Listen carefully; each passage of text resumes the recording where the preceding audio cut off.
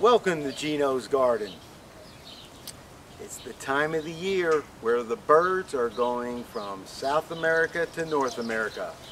And this might be the last resort they're staying at before they head north. All birds come through South Texas every year, twice. Most of the time I see a lot of them in the spring. And they stay next to the coast, porging over all the trees. And the last of the birds to come through here are the orioles. And we have the grosbeaks.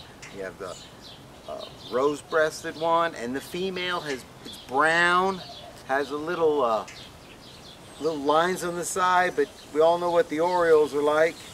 They're the orange birds. They're everyone's favorite, okay? Use the Audubon Society Field Book. These are great, great, great, great. And we also have here in South Texas the Bird Book of South Texas, and the Orioles are in here. We have the Auburn ones, the Orchard Orioles, and the orange and black. And you know, to get those Orioles out of the top of the trees, it's pretty hard. I mean, to get them in the yard. So I have to use our best feed, which is a grapefruit. They love grapefruits and oranges. So I had to lure them down here. So let's go see the birds before they head north. This is the last stop, and especially till, till fall. So let's go check them out.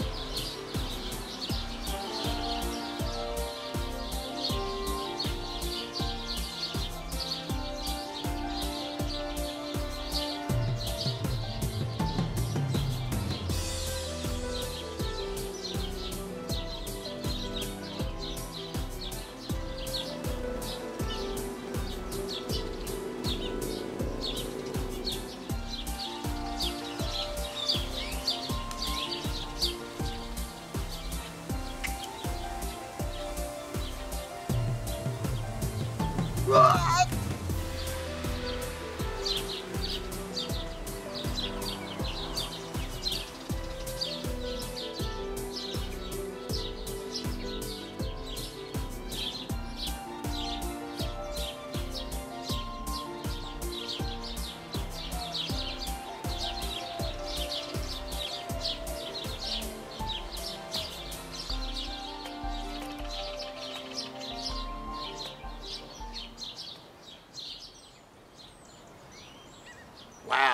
weren't they pretty?